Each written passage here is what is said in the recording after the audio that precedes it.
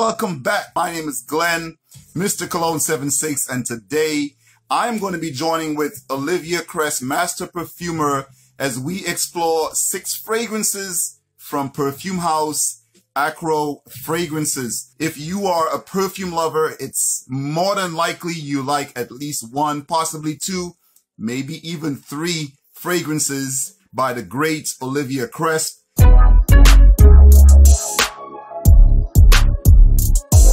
Let's get into Haze. Yeah. The next fragrance we're going to discuss is Haze. What can you tell us about that one? Yeah, Haze, Haze is, a, you know, it's based on cannabis. And actually, if you if you ask me a, a question among all the ingredients, what is your favorite uh, smell? I would say immediately it's cannabis. Cannabis is fascinating. You know, uh, you smell it everywhere in the world. Of course, in London, but in Paris, in New York, everywhere, you know, in big cities, and you smell it uh, on the sidewalk in the morning at seven o'clock or at night in, in the flats, in the, in the apartments, everywhere.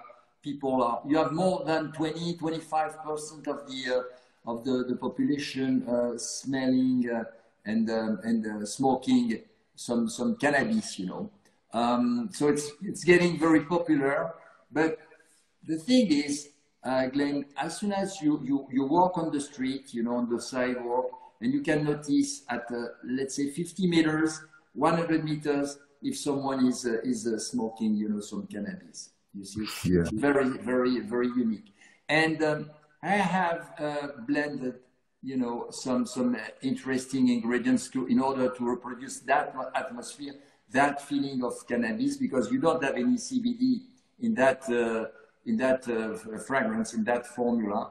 Uh, but mm-hmm. I've been using some uh, wormwood, some, some um, you know, clary sage, some artemisia, some uh, mint also, mint spicata, which is a little bit sweaty, uh, mm-hmm. as well some eucalypt- eucalyptus buds. And if you mix them, that makes something very aromatic, uh, very unisex as well. And I can tell you, when we launched, uh, when we launched two years ago, ago in Paris uh, in front of uh, journalists, you know, that one Haze was the, their best uh, preference.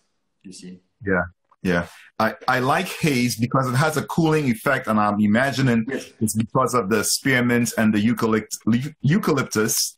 I I also really like the smell of cannabis, not I, not so much when it's smoked, but um, the, the, the the green stuff, you know, what we call buds.